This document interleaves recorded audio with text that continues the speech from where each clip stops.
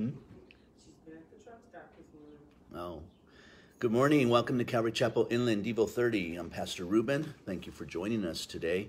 We stream live on Facebook every Monday, Wednesdays, and Fridays at 9 a.m. And if you're in the neighborhood, come on by. Join us at 5383 Martin Street in Jurupa Valley. Today we are continuing our study in the book of Second Corinthians, and we will be in chapter 5.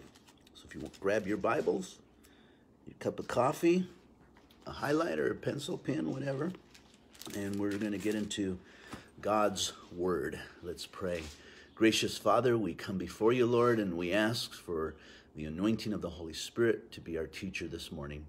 Father, as we read your words, just as they did in the book of Nehemiah, from morning until evening, Lord, and the Bible says they were paying attention the whole time. May we, Lord, pay attention to your words that are being read and expounded upon, that we may find some application for our lives and be prosperous, Lord. And we pray this in Jesus' name. Amen.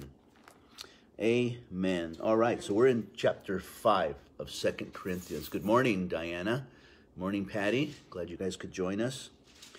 Let's start with verse 1. It says, For we know that if our earthly house, that is this tent, is destroyed, we have a building from God, a house not made with hands, eternal in the heavens. So Paul assures the Corinthian believers that these bodies that we have now are like tents. And I don't know if you know anything about tents, they're temporal, they're not made to last. You can only stay in them for so long because the weather will deteriorate them. The winds will come and blow them away. And so, like these bodies, they they don't last very long. the older I get, I realize how that is so true because things start to break down, the wind comes and you topple over, and so they're not designed to last forever, but God has a body for us in heaven prepared by Him that will be eternal. That's our hope. That is our hope, guys. That, that is the gospel right there. That is something that we should be excited about and should be good news in our lives that we should be sharing it with so many others. And it's eternal and it's in heaven waiting for us. I don't know why so many people want to live on this earth for a long time. I hear that all, all the time. I, I just want, I want to extend my life. I want to be healthy. I want to take pills. I want to do this. I want to do that so that my life can be extended. Uh, we're made for heaven. We're not made for earth. If anything, we are to preach the gospel where we're here because we're here only a short time. So he goes on, for in this we groan earnestly, desiring to be clothed with our new habitation, which is from heaven. So we literally groan. It sounds like Paul's quote in Romans chapter 8, verse 23, when he talks about the earth groaning to put on a new earth. And so our bodies are constantly groaning. How does it groan? Well, with aches and pains. You know, as I said earlier, you know, your knees start to hurt. And knees knees oftentimes hurt because you have you have ligaments that connect your, your lower leg to your upper leg. And then in between those ligaments, you have what you call uh, fibers, meniscus, which uh, pad or cushion the bones that are rubbing on each other. And after time, that meniscus in the center there, it wears out. It gets thin. And as you get older, it's thinner and thinner. And all of a sudden, you either get uh, uh, bursitis or you get uh, uh, arthritis or you get bone to bone rubbing, which then causes inflammation in the joints, water, and so forth, and you have an issue. But that happens in time. When you're younger, everything's nice and, and new, and, and there's no issues. You can jump. I remember jumping from my roof in my home when I was a young kid in Rowland Heights. I literally jumped from the roof to the ground, and for me to even think about attempting that today would be ridiculous. I would be insane to even think about jumping like that. But that's what happens as we get older. And when you put more weight upon those knee joints, it hurts even more. So a lot of us complain about the knees, and a lot of times it's weight, a lot of times it's age, and it's just, you know, wear, or it's arthritis or bursitis, which is gets into the sacs of the joints, and it just causes a lot of issues. And so you have knee replacements, uh, you have knee surgery, and you have needles stuck in to pull out fluids and stuff. So tell me that's not the body saying, I need a new body. You know, I need a new body. And so our bodies are groaning, is what he's saying here, to put on a new habitation, a new dwelling. If indeed, verse 3, having been clothed, we shall not be found naked. For we who are in this tent groan, being burdened, not because we want to be unclothed, but further clothed, that mortality may be swallowed up by life. And so it's not that we want these bodies to last, we want a whole new body. And we want it to be eternal. And it will be. And that is our hope. Now, he goes on. Now, I'm saying this because he who has prepared for us this very thing is God, who also has given us the Spirit as a guarantee. So, how do we know that this is true, the resurrected body? Because God has prepared it. And how do we know that God has prepared? Because He's given us a guarantee. What is that guarantee? That guarantee is, is like a down payment. In, in the old days, and some of you might know this, uh, you could actually lay away clothing or items. You go to the store and you say, I like that item, and I would love to purchase that item, but I don't have the money right now. So could you put it away and I'll put a deposit on it so you hold it for me? That's a, a little layaway plan. And then you would pay for it, and then when you're done paying for it, it would be yours. Well, God has given us a deposit in a sense. He has put us on layaway, and that deposit is the Holy Spirit. Verse 6 Therefore, we are always confident, knowing that while we are at home in the body, we are absent from the Lord. So and that's a truth. We're not with the Lord right now. None of us have really met the Lord. Maybe there's been a few. I don't I don't doubt that God has not revealed himself to some. I hear in some of the third world countries where there's Muslims that Muslims are coming to the Lord because they're seeing visions of Jesus. He may be coming to them and, and causing revival among them, and they're coming to the Lord Jesus Christ. Um, I don't doubt that, but generally speaking, none of us have really seen the Lord at all. We're absent from him at this point. We won't see him until we're in heaven. For we walk by faith and not by sight. Now, this is a scripture that's quoted a lot. We walk by faith and not by sight. Just because we haven't seen the Lord does not mean that he does not exist. I don't know about you, but have you ever seen wind?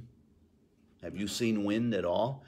Does not mean it doesn't exist. There's days in Mira Loma where you don't see wind at all. It's calm, those trees aren't moving, and you could be walking out there and all of a sudden the wind picks up and whoosh, you never saw it coming but it came. And how do we know that the, the wind came? By the results.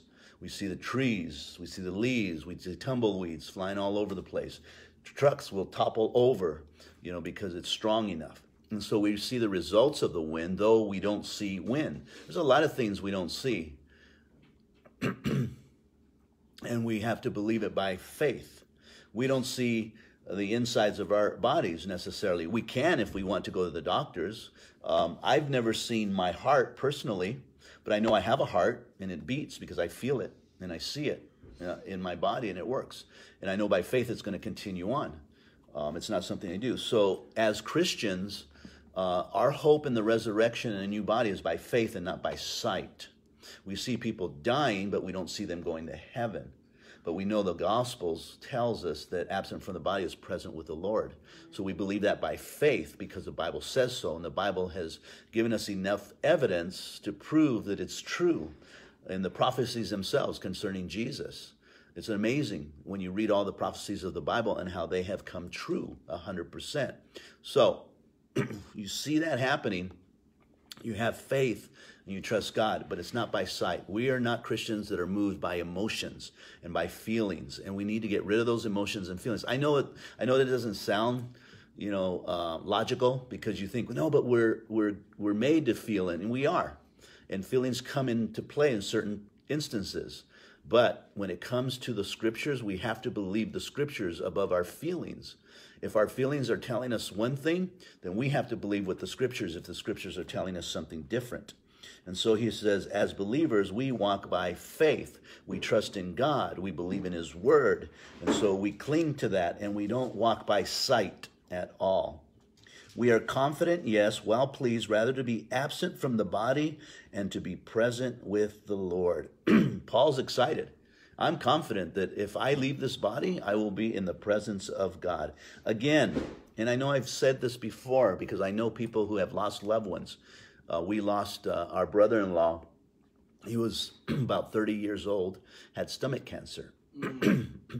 and uh, his mother, you know, deeply loved him, had a sister, had, had um, you know, brothers and sisters and so forth. And the mother was just so devastated from that that she would go to the grave almost every day, every day, every day. And then finally, thank God, finally, thank God that she realized that he's gone, that he's in heaven, and that she'll see him one day, and that she had another child that she needed to take care of. That happens oftentimes too, where where mothers would neglect their other children because one has died. See, if we have true hope, if we have true hope, and I'm not questioning you whether you believe in God, I'm questioning whether your faith is strong. And it may not be strong, so you have to ask God for strength and for Him to strengthen it. And then you have to walk by faith and not by sight. You can see that your relatives are not here, your loved ones are not here, but the fact is they're in heaven and they're rejoicing and they're putting on a new body. And Paul says that I'm confident, I'm well pleased. You know, rather be absent from the body is present with the Lord. And this young man is in heaven. I remember when they said they couldn't do anything about it. And here's, here's a sight thing. he said uh, they decided to take him home in hospice. And when he was passing away, he told his wife, he said, I'll see you when you get to heaven. Amen. And as he was passing, she said that she looked at his arm, his forearm here, and a cross all of a sudden appeared. And as he died, it disappeared. Wow. So a little evidence that you know God was saying that He's in heaven. So we have to have the faith. And if you don't have faith and you're down you're mourning, you're you're complaining and you're not moving forward, then it's because you're not having faith in God and what He has said. And so you need to pray for the faith that God would give it to you. Doesn't mean God doesn't love you. Doesn't mean that you're a doubter. It just means you're struggling with that area, and it's an area that you need to to pursue and to find victory and, and joy in the fact that they're with the Lord. Now he goes on, therefore we make our aim, whether present or absent, to be well pleasing to him.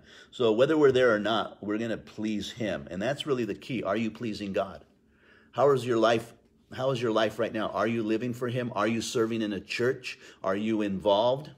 That's how you please God. For we must all appear before the judgment seat of Christ, and each one may receive the things done in the body according to what he has done, whether good or bad. If you're not doing anything, you're not going to have anything to judge. And God is not going to reward you because you got nothing.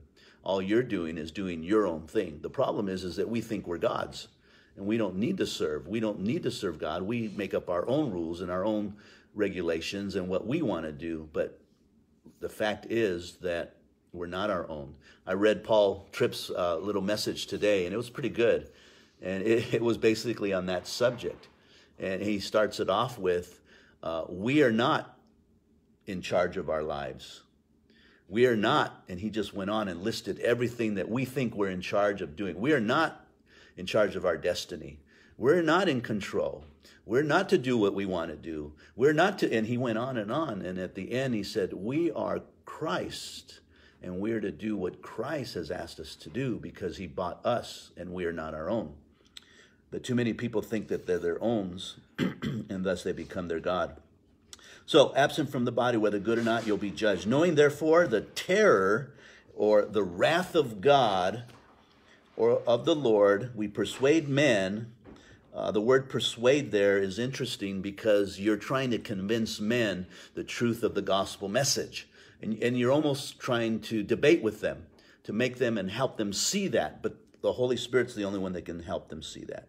So he's saying, We persuade men, but we are well known to God, and I also trust are well known in your consciences. For we do not commend ourselves again to you, but give you opportunity to glory on our behalf, that you may have something to answer those who glory in appearance and not in heart. For if we are besides ourselves, it is for God. Or if we are of sound mind, it is for you. For the love of Christ constrains us, because we judge thus that if one died for all, then all died.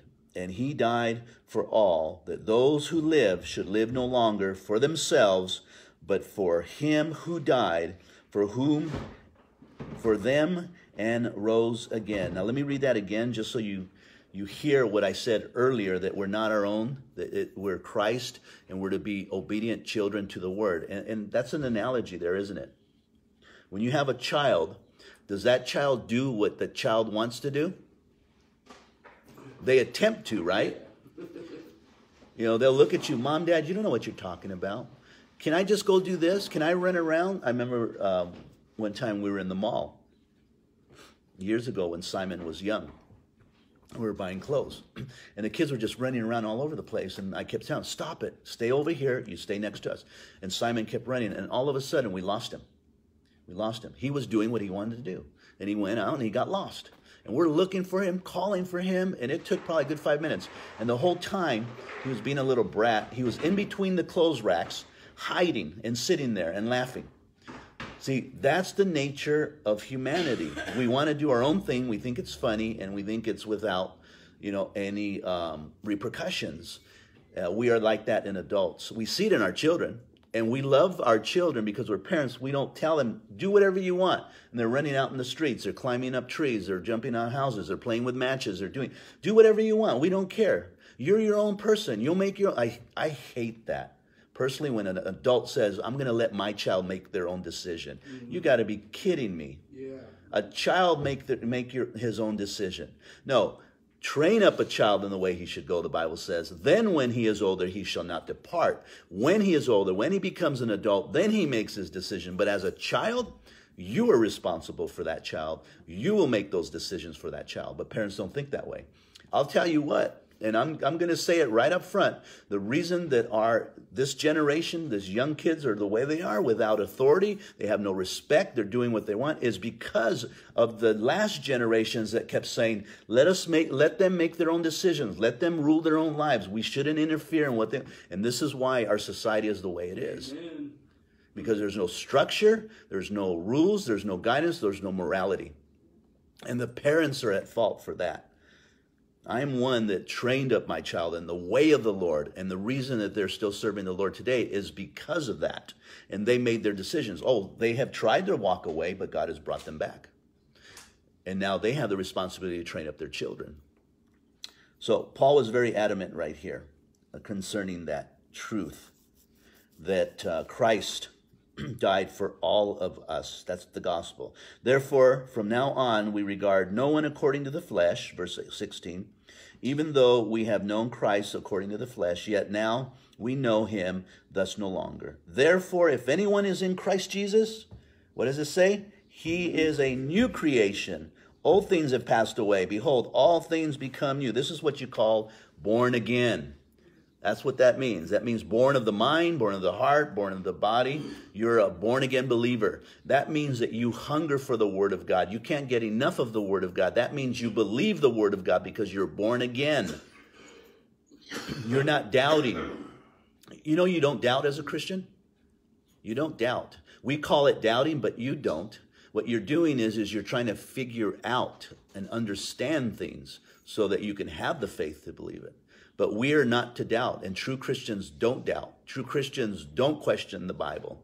Now, I say question the Bible in the sense that it's wrong. We question it to find out what is right and what it's saying. That's Amen. what we do. We inspect it, we examine it, we study it, we think about it, we meditate upon it, and so forth. But we don't question its validity. Why? Because we're born again. Born again children don't do that. When you're born into a family, you're born in that family. Sometimes you question, am I really a part of this family? It's pretty strange. But you know you're a part of that family. You just question it because of what they do, and you don't like what they do, but you know you're a part of that family. And so you're born again. Let me read that again because it's so clear. And it's something that you have to understand and accept and believe by faith and not by a sight. He says, Therefore, if anyone is in Christ, if anyone says they're a Christian, if anyone claims to know God, if anyone knows Jesus Christ, he is a new creation. That means he's not the old man, he's not doing the old things, he's something totally different, something totally new. In fact, if somebody knew you in the past and met you now, they would say, Who are you? You are not the person I knew in the past. He says, Old things have passed away. That means all your old life, all your old sins, all the things that you used to do, all the things you used to like are no longer a part of your life. They've passed away. Behold, all things become new. They all become new. All become new. Everything is new. Everything is an experience. Everything is like you've done it for the first time again with Christ. Then he goes on, now all things are of God who has reconciled us to himself through Jesus Christ and has given us the ministry of reconciliation. Who has the ministry of reconciliation? Paul says we do. What is reconciliation? Well, you ever have uh, people fighting or looking to get a divorce and they say they, they get reconciled, they make up, they repent, they forgive one another, and then they continue to live together as married couples. That's reconciliation.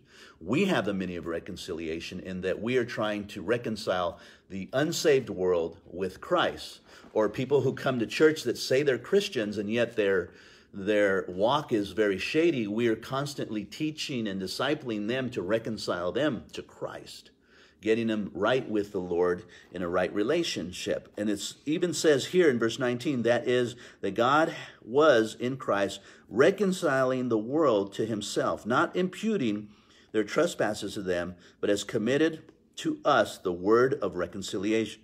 Therefore, we are ambassadors for Christ, as though God were what? Pleading, Pleading through us. We implore you on Christ's behalf, be reconciled to Christ. Uh, I used to have a ministry when I was young in the Lord, about 27 or 8, and we called it Pleaders for Christ. And it was an evangelistic ministry. We were evangelists, and we would go out every week to the Riverside uh, Greyhound bus station, and we would be pleading with people for Christ met some very interesting people there. We would go to movie theaters and we would stand out in the theaters and we would have tracts and we would plead with people to come to know Christ. We would go to stores, uh, we'd go to malls, and we'd stand out there and plead with people to Christ. My son one time went to the Pomona Fairgrounds, that whole you know, uh, yearly fairground that goes along, and he, in the middle of the crowd, just started preaching the gospel. And he started asking questions, and a whole crowd was around him. He was pleading for Christ. That's what we did. Why did we do that? Because we were new creatures in Christ Jesus. We don't see that today. We don't see someone get saved and go, wow, I'm saved and I want to share the gospel. And they're now out preaching that gospel. Why don't they do that? Because they're not born again. They're not new creatures. They're still struggling. They, they really need to accept Christ into their heart and then start seeking Him for a filling of the Holy Spirit, a moving in their lives to glorify Him. But we're not seeing that anymore. It seems like the Spirit has been quenched in our society lately. And I believe it might get worse until a revival comes. But I also believe that it's up to every individual Amen. that they would become pleaders for Christ. So, if anything, if you're asking, what does God want of me? He wants you to share the gospel. He wants you to be pleading for Christ. I'd like to bring back that ministry here one day if I if the Lord raises up somebody that just has a heart to evangelize, to name it pleaders for Christ. Pleaders for Christ. I, I love that word. Uh, we met an old lady one time out there at Riverside bus station and we are pleading with her, you know, hey, do you do you know Jesus Christ? And she goes, Oh yeah, I know Jesus. I go, you know, the Bible says that we've all sinned and fallen short of the glory of God. She goes, Oh no, I've never sinned. And so we stopped. I says, You have never told a lie? And she goes, Nope, I've never told a lie. You mean you have never fibbed on the IRS form? Nope, I've never fibbed. Have you ever stolen? Nope, I've never stolen anything. And she de- she was adamant about never sinning at all. But by nature, the Bible says you are sinners. And we just couldn't get through to her that she was a sinner in need of Christ. Uh, we've met people there that were prostitutes on both sides, male and female, and we preached the gospel with them. We were threatened there. Somebody, somebody had a gun. They had it in their sweatshirt pocket, and they were listening to us the whole time. And then they grabbed the gun, pointed it at us, and they said, "Do you really believe what you're preaching? Because I'll kill you right now." And me and the guy that were together preaching, we both looked at each other and we said, "Before you shoot us, we just need to tell you something. Christ loves you." And you need to repent from your sins and believe in him to have eternal life. You know, and we kept preaching and preaching with him, and finally he put it back in there and he kept listening. And then we were able to help him. We called his mother, he was living on the streets, reunite him and his mother together. So we've seen all that stuff. The moving of the Holy Spirit in our lives because we were pleaders for Christ. Then he closes, For he made him who knew no sin, that's speaking of Jesus, to be sin for us, that we might become the righteousness of God. That's the gospel right there. Amen. Jesus knew no sin. He became sin on our behalf. He took on our sin, so we took on his righteousness. It was a swap in a sense, right? We swapped. Here, Jesus, here's our wretched, sinful, narcissistic, self centeredness. You take that, and Jesus, here you go. You take my holiness, purity, and righteousness so that my Father will receive you into heaven. Is that a good trade? That's, for us, it's a good deal. Was it a good deal for Christ? No, and yes, because he loved it. He did it because he loved us. And so for him, he felt it was a great deal because he did something new. That's how much Christ loves us. Amen. God is good. I wish I wish I could expound on those things there because that's an awesome chapter there. One that um, one that should move us all, and we should probably read that over several times, if not at least a hundred times. Take take some time and just read that chapter over, especially that latter part where he says you're a new creature, and to the end there, and see what Christ has done, and then prayerfully go before the Lord and say, Lord, would you help me be a pleader for Christ? Would you help me to be a new creation, Lord? Would you help me to change my life and, and not stop praying to the Lord until He does it? Let Him know I'm serious about this. I really want this, Lord. And, and I'm not stopping until you touch the hip and cripple me with being a pleader for Christ, Lord. And I think that we'll see revival happen if that takes place in our lives. So God bless you guys. Thank you for viewing Devo 30 with us. Please, please, please, please, I, I say this with all my heart and for the gospel's sake. Share this on your Facebook. Others need to hear this. If you're not a pleader out in the streets, you can be a pleader on Facebook by just sharing it on your on your page there. So what? So what if people look at it? So what if they call you Christians? That's exactly what they did to Jesus. Don't be ashamed of the gospel. You're either for Christ or you're against Christ. Share this on your wall. Maybe someone will get saved. God bless you. We love you. If you have any prayer requests, please post them and we will pray for you or private message me. God bless.